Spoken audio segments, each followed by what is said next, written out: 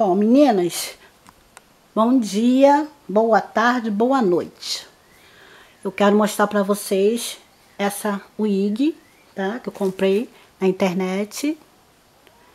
O valor dela foi R$ reais, mais frete deu 50 uns quebradinho.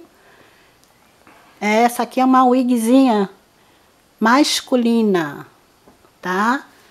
Eu vou botar no anúncio aí para vocês estar vendo. Então se trata de uma wig masculina.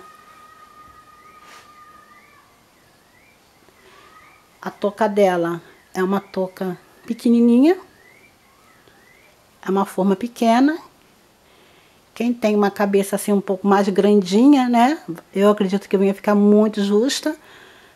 Mas ela tem um corte bonito, tá? Tem um, um biquinho aqui no, na, na nuca, toda encamadinha. Eu achei muito, muito bonitinha. Vou botar aqui no manequim para vocês verem como é que ela fica na cabeça. Eu optei por esse cortezinho aqui por causa do franjão. Eu quero priorizar o franjão. Olha que bonita, gente.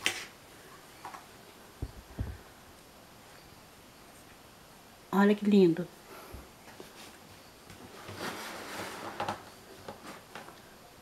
Olha que lindo. Olha que corte lindo.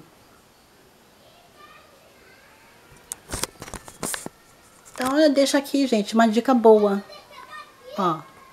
Corte muito bonito. Olha o franjão dela.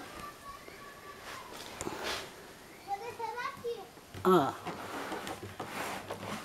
Por que que eu comprei uma peruca masculina? Bom, eu tive uma compra né? Eu fiz uma compra de uma lace, de uma wigzinha exatamente desse modelo, só que não veio exatamente esse modelo, que eu queria cabelo bem curtinho.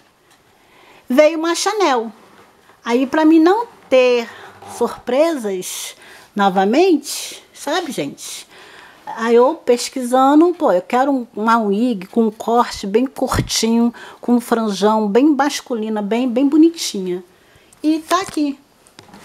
Vou botar na cabecinha para vocês verem o efeito. Então o efeito mais ou menos é esse aqui, né? Para vocês estar tá vendo, olha. Olha que corte bonito, gente.